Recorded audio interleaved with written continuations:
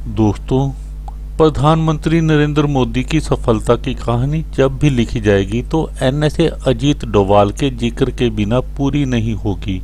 पाकिस्तान पर surgical strike और air strike के पीछे अजीत डोवाल की रणनीति ही थी।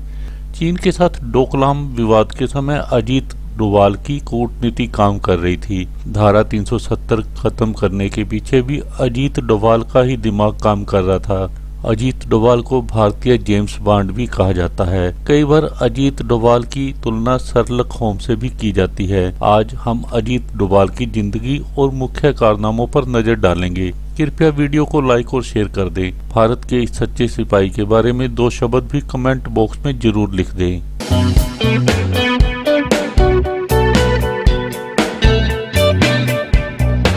चलो अब शुरू करते हैं। अजीत डोभाल का जन्म 20 जनवरी 1945 को पौड़ी गढ़वाल में हुआ था। उनके पिता मेजर जी एन डोवाल भारतीय सेना में अधिकारी थे। अजीत डोवाल की स्कूलिंग अजमेर के सैनिक स्कूल में हुई थी।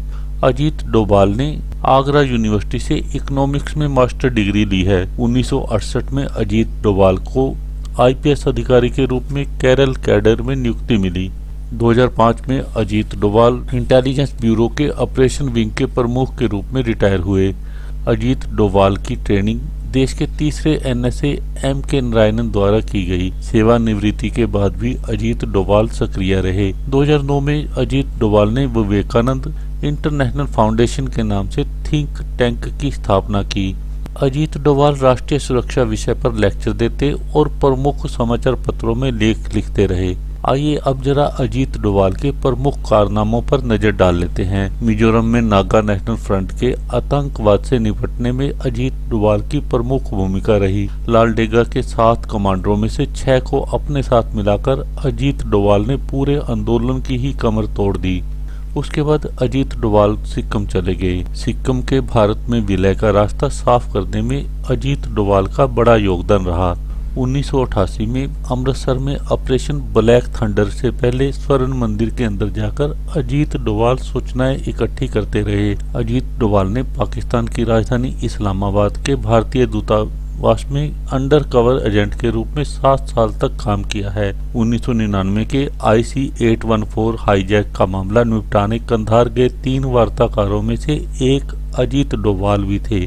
लेकिन बहुत कम लोगों को पता है कि 1971 से 1999 के बीच इंडियन एयरलाइंस के 15 हाईजैक विमान छुड़ाने में अजीत डोभाल की सक्रिय भूमिका रही थी। आइए अब जरा एनएसए के रूप में अजीत डोभाल का कामकाज भी देख लेते हैं। सत्ता संभालने के बाद 30 मई 2014 को प्रधानमंत्री नरेंद्र मोदी ने अजीत डोभाल को देश के पाँचवें नेशनल सिक्योरिटी एडवाइजर के रूप में नियुक्ति दी थी। जून 2014 में अजीत डोभाल ने खुद इराक जाकर छियालीस भारतीय नर्सों को सुरक्षित घर वापसी को सुनिश्चित किया। उसके बाद सेना प्रमुख दलवीर सिंह सुहाग के साथ अजीत डोभाल ने म्यांमार की सीमा में पहला क्रॉस बॉर्डर ऑपरेशन किया, जिसमें 50 आतंकी मारे गए। पाकिस्तान के मामले में भारतीय रणनीति के डिफेंसिव से ऑफेंसिव डिफेंसिव में बदलने में अजीत डोभाल का ही दिमाग रहा है। सितंबर 2016 में उड़ी के बाद पाकिस्तान पर हुई सर्जिकल स्ट्राइक को अजीत डोभाल के दिमाग की ही उपज माना जाता है।